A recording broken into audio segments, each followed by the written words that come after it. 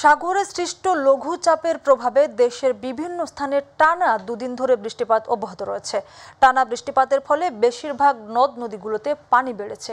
ফলে উপকূলের বিশেষ করে দক্ষিণের পনেরো জেলায় এক থেকে দুই ফুট অধিক উচ্চতার জলোচ্ছ্বাসের সংখ্যা রয়েছে বলে জানিয়েছে আবহাওয়া অধিদপ্তর।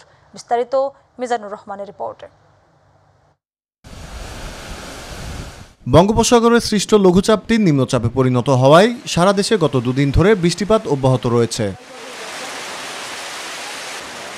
ঝালকাঠিতে টানা বৃষ্টির প্রভাবে নদীগুলোর পানি বৃদ্ধি অব্যাহত রয়েছে। গত দুদিন ধরে জেলার সুগন্ধা বিষখালী ও বাসন্ডা নদীর অস্বাভাবিক জোয়ারে নিম্নাঞ্চল প্লাবিত হয়েছে। জেলার রাজাপুর উপজেলার বাদুরতলা এলাকার বিষখালী নদীর ভাঙনে ছয়টি দোকান বিলীন হয়েছে।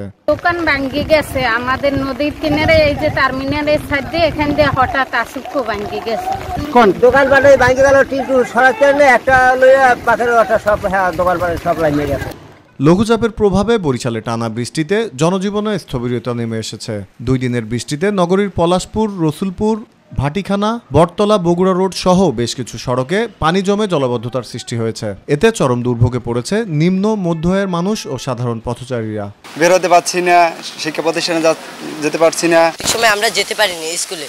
যার জন্য আমরা আসার সময় আমাদের জুতো প্যান্ট সব ভিজে যায় এবং বই খাতাও সব ভিজে যায়।